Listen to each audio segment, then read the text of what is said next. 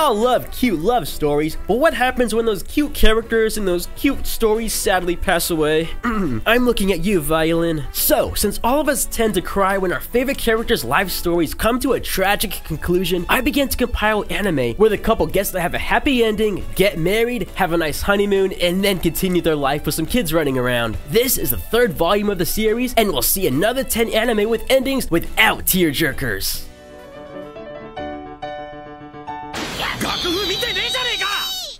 野田君は耳で覚えられるから楽譜見ながら弾く習慣がないんだよね。When you see a romance in a piano, I know what you think, but don't worry, this time, this show actually has a happy ending, so you can start watching this without a tissue box. It has a premise similar to Your Truth in December, and it follows two musicians who reunite with each other because of their love for music. This anime has a lot of laughs, and the good thing about it is that you never see them coming. The romance relationship is also very interesting and also feels unique. And instead of seeing everything in high school instead of romance anime, here we have a musical school. If you're a music genius, you'll love it. If you're a romance anime fan, you'll love it more. And like I said, this time it's violins and pianos without tissues. Thank you, anime.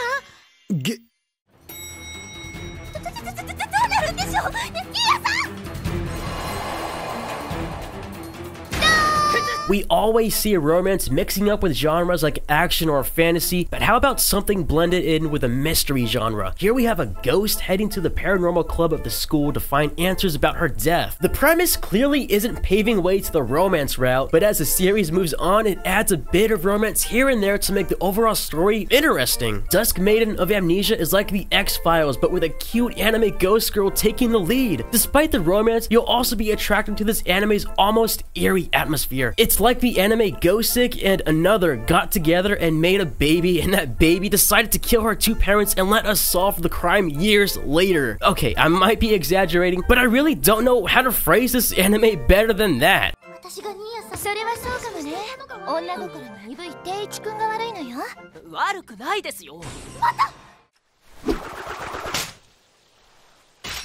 ああ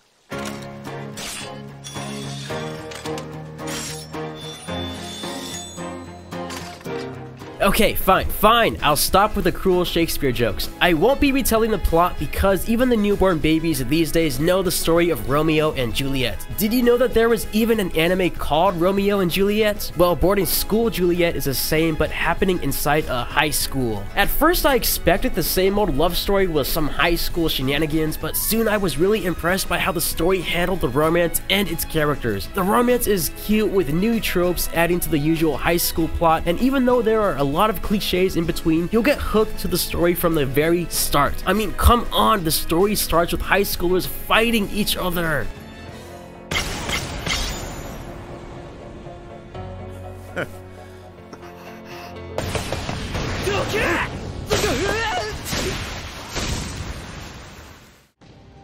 カモフラージュに準備しておいたがこれはこれでいいものだな It's a harem, and that's only one good point of this show. Fruits of Grisaia is an anime that does the harem thing right. Even though the anime is more fast-paced than the visual novel, it still makes sure to shine the spotlight on each girl before their respective arc ends. Aside from everyone collectively agreeing Yumiko is the best girl, it is also said to be best to play the visual novels first before watching the anime. Since it's based on a visual novel, the original ending branches into many paths, but the anime decided to go full harem and give our main character a harem ending. And don't think of this as a light and funny romance anime, things get a lot darker after the movie. Besides, I've been using Fruits of Grisaia thumbnails for all my past uploads, so I should at least do justice by mentioning this on the list.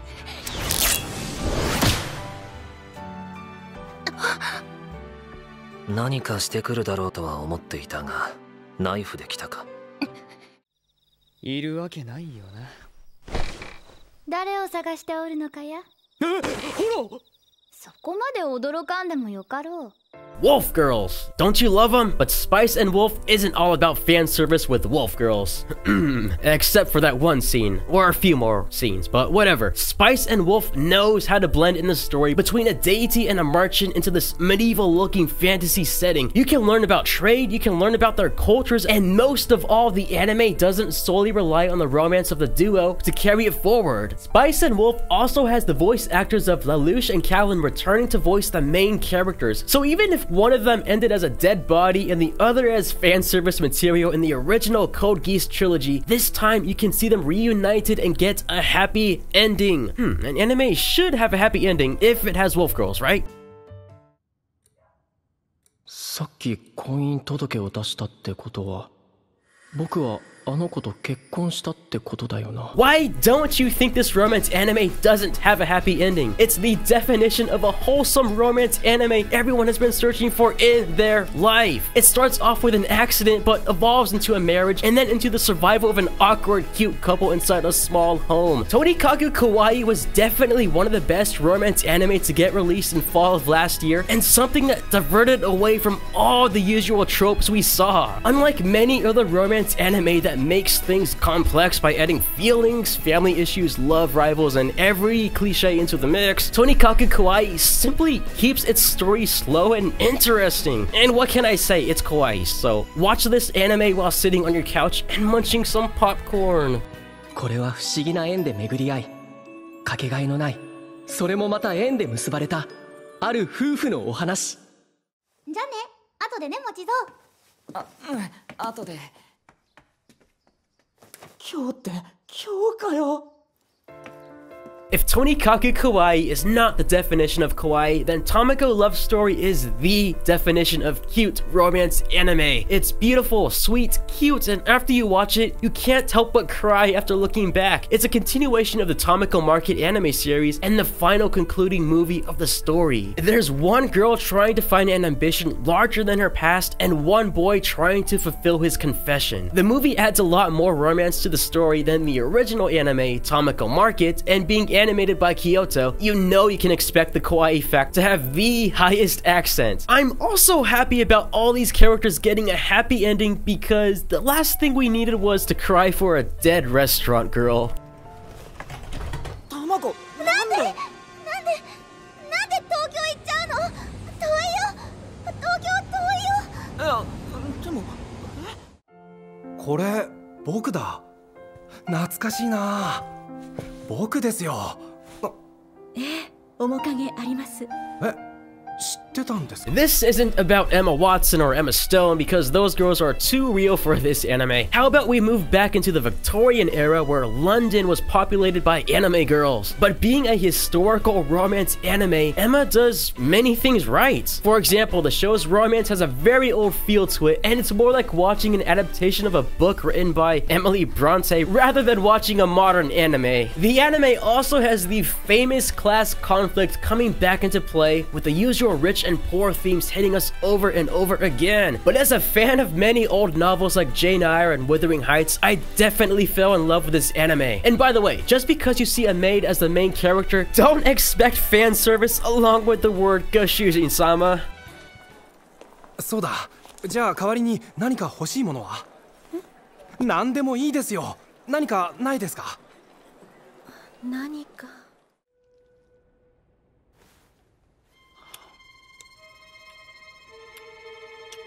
甘い。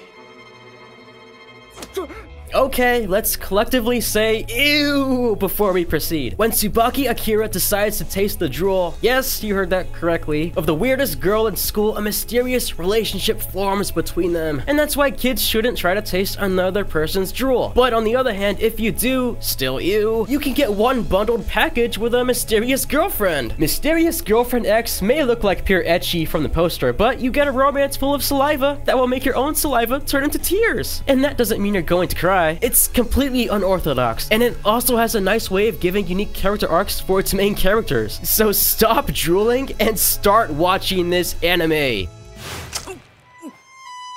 指先を口の中で舐めて